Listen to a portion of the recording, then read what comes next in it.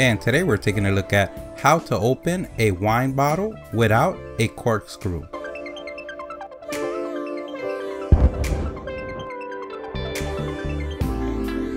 and we're gonna open the wine bottle with using things that you could find at home. So now you could be known as that guy or girl or both or none. You know we love you at the StatUpBox team. So you're dressed to impress and you're ready to pop some bottles and you got each and every different color of bottle you could find. But once again, you forgot the most important thing, the tool to open those bottles. Don't worry, today we're gonna see how to do that. The first thing we gotta do is remove the wrapper on top and you could go the traditional route of peeling it off. But if you wanna look like you know what you're doing and have a cleaner look, we're gonna use the first utensil of the night. And this is something that should be in anybody's drawer, and that's a knife. And we will say that serrated is better. And remember, when using a knife, always be careful because the last thing you want on a candle lit night with that romantic background music and that special someone waiting for you to do things to you that you never imagined is to die. So that's why we say safety is the number one thing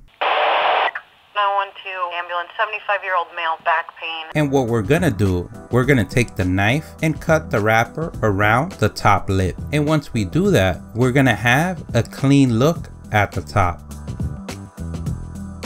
And with the same utensil, we're gonna open the bottle as well. We're gonna insert to the cork at a angle. And if you wanna be more specific, we would say around 60 to 50 degrees. And we want to get the knife in one third of the way in or about 40%. And we want to have the bottle flat on the ground and do this from the top to the bottom. We're showing you sideways so you can see how it goes in. But for safety, we recommend that you have the bottle on a flat surface and do it from the top to the bottom. Now, the easiest way to do this is to twist the bottle hold the knife and create a slight pressure up and you'll see how the cork starts coming out. If you need to adjust the knife or push it more down, you can as well.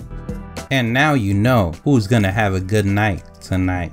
But let's say for some reason you don't have a knife, but you have a fork, a screw, and a screwdriver. And remember, if you don't have a screwdriver, you can use a butter knife to twist that screw in. Remember what's waiting for you after you open that bottle. So now what we want to do is place the screw on the middle of the cork. And screw the screw 90% in. We want to have enough space between the screw and the cork to place our fork. And if you don't have a screw, remember if anything's hanging on your walls, they might be a screw hanging it. So borrowing it from your own home and then putting it back is nothing to worry about. And it really doesn't matter what screw you use, but we can say that the more separated the threads from each other, the better the screw will work. And if you notice, that the screw is not holding, you can place it on an angle as well as we did with the knife.